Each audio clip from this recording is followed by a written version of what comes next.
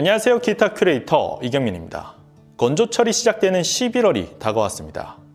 이런 시기에는 all solid 기타를 구입하려고 하시는 분들 중에 기타 관리, 특히 습도 관리를 하지 않았던 분들이라면 이런 all solid 기타를 구입하신 거에 대해서 많이들 망설이실 것인데요.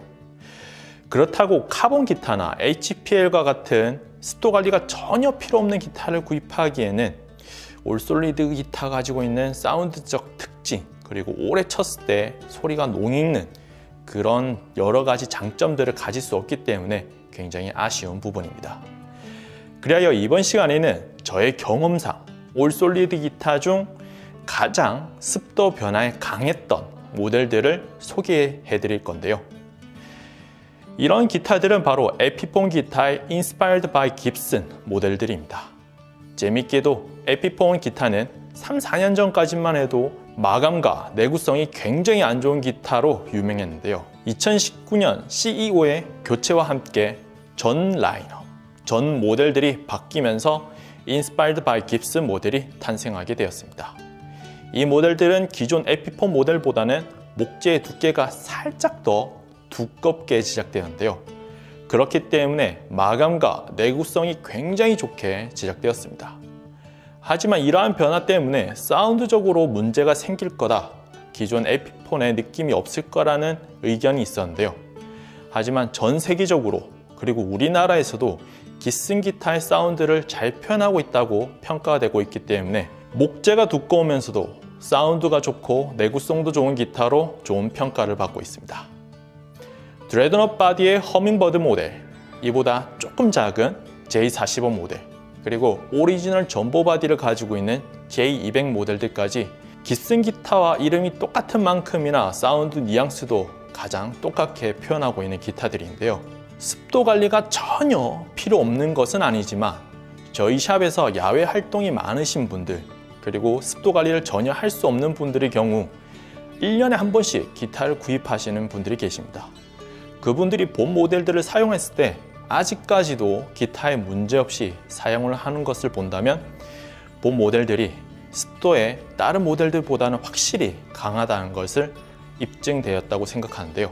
물론 이 모델들을 구입하시기 이전에 에피폰 기타들의 스펙적 변화가 있는지 그리고 이 스펙적 변화로 인해서 습도 변화에 대한 내구성의 변화가 있는지는 꼭 체크하셔야 될 부분입니다. 그렇다면 습도 변화에 강하게 제작되어 나온 이 세 가지 모델, 그 사운드가 어떤지 지금 들어보도록 하겠습니다.